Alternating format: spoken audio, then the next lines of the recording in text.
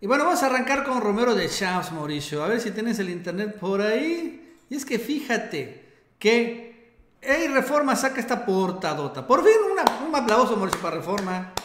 Pero, ¿por qué, pero ¿por qué Reforma, Nacho? ¿Por qué le llega esta información a Reforma, habiendo tantas tribunas, no? Es que Reforma tiene también rato, como que tiene un interés contra Romero de Champs. La verdad es que siempre le ha dado uh, este, reportajes duros contra ellos. No sé por qué, pero bueno. ¿Qué señala Reforma? Que la Unidad de Inteligencia Financiera de Santiago Nieto presentó ya una demanda, bueno, dos demandas ante la Fiscalía contra Romero de Champs, pero aquí lo más importante es, ojo, contra seis familiares suyos, o sea, van contra la familia de Romero de Champs.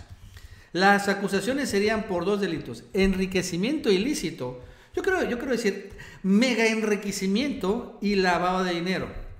Señala que se van contra la esposa de Romero de Champs, Blanca Rosa Durán, sus hijos Paulina, Alejandro y Juan Carlos Romero Durán, así como María Fernanda Osejo, esposa de Juan Carlos Romero, o sea, su nuera, también se van contra Ana Luisa Aguinaco Romero, hijastra de Mariste Romero, que es hermana del dirigente petróleo, o sea, como que su sobrinastra, sobrinastra.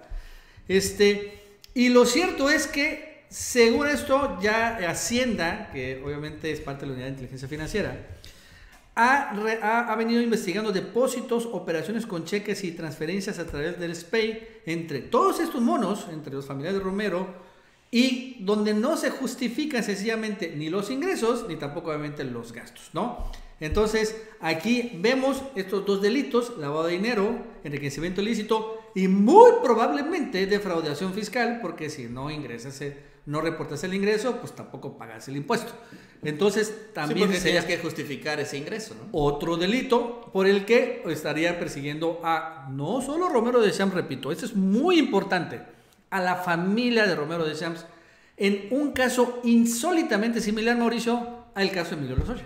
Y es que no es un secreto también esto, Nacho. Se ha hablado mucho de Carlos Romero de Champs, pero también de los lujos con los que vive su familia, que ellos mismos han presumido en las redes sociales, porque les encanta, es que les encanta presumir este tipo de cosas. Son los viajes, las bolsas, de 800 mil, los coches en fin, la verdad es que también, también tienen eh, pues ahí estas imágenes, por ejemplo, y ellos tienen que demostrar, ok, que ya no demuestren ante la autoridad, pero que digan de dónde salió para comprar todo esto. Ahorita vamos a ver de los lujos, pero bueno, primero vamos a ver lo que dijo Obrador sobre esto.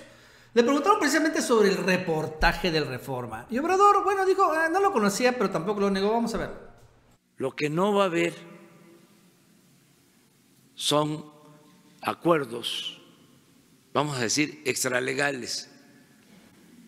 O no, no era ese el, el, video, Mauricio. Este, ahorita vamos a ver, sí, porque fue Lord Molecula el que le preguntó sobre precisamente el reportaje. ¿Lo tienes o no lo tienes? Si no, le seguimos, ¿sí?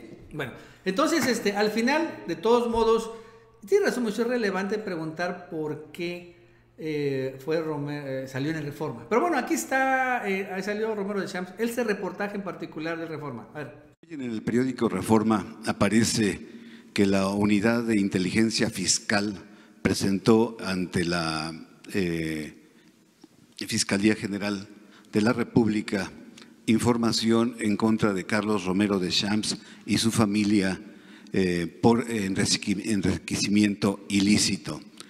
Ese sería, eh, que quisiera saber si es verdad y si sería el primer golpe de su gobierno y en este mismo sentido sobre sindicalismo, quisiera saber si será eh, del sindicato de trabajadores petroleros de la República Mexicana los empleados que trabajen en la refinería Dos Bocas o será algún nuevo, eh, alguna nueva organización sindical. Sí, eh, acerca de lo último es con el sindicato. Tenemos que ser respetuosos de eh, contrato colectivo. Si existe otro sindicato de acuerdo a lo que se está planteando, este, se busca el mecanismo y de conformidad con la reforma laboral, la nueva reforma laboral, ahora van a ser los trabajadores los que van a decidir quién los va a representar Eh, acerca de la denuncia no tengo información, no sé exactamente si está presentada una denuncia, pero mañana podríamos este, decirles sobre esto. La última vez que le preguntaron a Deschamps sobre una denuncia, nada más para ponerlo claro, él le había señalado que no está presentada una denuncia las últimas veces. Ahora dice que no sé. Entonces, aquí podemos decir que, bueno, mm, no lo descarta y bueno, Mauricio ya pasó un chorrete de que la portada. Él dijo mañana va a dar un poco más de, datos, porque no tenía claro. A mí me sorprendió porque también dijo que ayer se había reunido con Santiago Nieto. ¿no? Claro. Entonces, pues parece ser que no le platicó a detalle. o, claro que sí. Bueno, no sé por qué.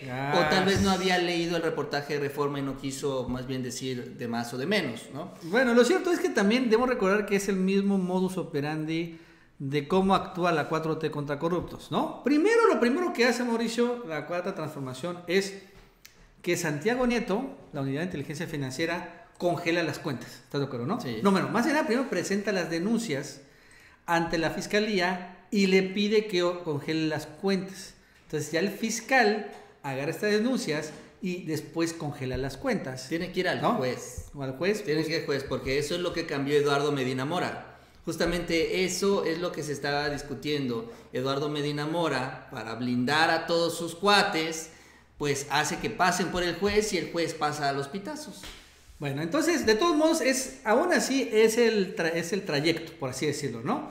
Primero, unidad de inteligencia financiera, congelamiento de cuentas a no solo al, imputado, sino a toda la familia, y después viene la orden de aprehensión, y ahorita lo que estamos es que todos empiecen a oír, ¿no? Es donde estamos ahorita. Sí. Este, y después viene la ficha roja de Interpol.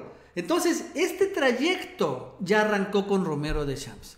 Arrancó con la unidad de inteligencia financiera, poniendo la denuncia a la fiscalía. Así que les puedo asegurar, mucho, te puedo asegurar que es inminente que entre hoy y mañana dé a conocer que se congelaron las cuentas de Romero de Champs y de su familia y de todos estos que están involucrados. Sí, porque de entrada tienen que justificar de dónde sacó tanto dinero. Es, imposible, son miles de millones. Así, así, fue con Ansira, así fue con todos, Mauricio. Sí. Así fue con los del Huachicol, este, del hidrocine, etcétera, etcétera. Es el inicio de la persecución o de la cacería legal. Y por primera vez, desde que me acuerde, van contra Romero de Champs, ¿no? Así que bueno, Sí, va, arrancando. Eh, no es un proceso fácil, lo decíamos al principio del video. Ya sabían que iban a encontrar resistencias, que iban a encontrar corrupción, que van a encontrar intereses, redes que se han venido tejiendo desde hace muchos años. Y es que en el marco también de todo esto y parte de la investigación segura, muy seguramente de Santiago Nieto, es esto que se firmó el año pasado, el pilón que dio Peña, dice la nota también a petroleros. Y es que lo que había trascendido, incluso se le denunció a Carlos Romero Champs por parte de los disidentes petroleros, es una cláusula, la 251 del contrato colectivo, donde a Romero de Champs le daban 8 millones de pesos mensuales. Estos 8 millones de pesos mensuales lo usaban para muchas cosas como las que están ahí en la pantalla, supuestamente para ayudar a los trabajadores petroleros, mantener las instalaciones, tener eventos sociales y apoyos extras. Lo que no sabía absolutamente nadie, ni los trabajadores petroleros sabían que existía esto, es una información que se mantuvo reservada también hasta prácticamente hace algunos días, que es que en esta cláusula 251 tenía una 251 bis, y esta 251 bis Básicamente también se trata de más dinero, pero mucho más. A los 8 millones que ya recibía mensualmente se le dan 29 millones extras. Esto significa que en los últimos 12 meses, porque esto se firmó el 25 de junio del 2018, antes de la elección, para amarrar también la operación política del sindicato, un tipo Pemex Gate, pero a crédito, en, estos 12 meses, Carlos Romero de Sanz ha recibido 353 millones de pesos sin reportarle nada a nadie, que ya le entregó petróleos mexicanos y que evidentemente ya los trabajadores sindicalizados no se ha reflejado por ningún lado. Y bueno,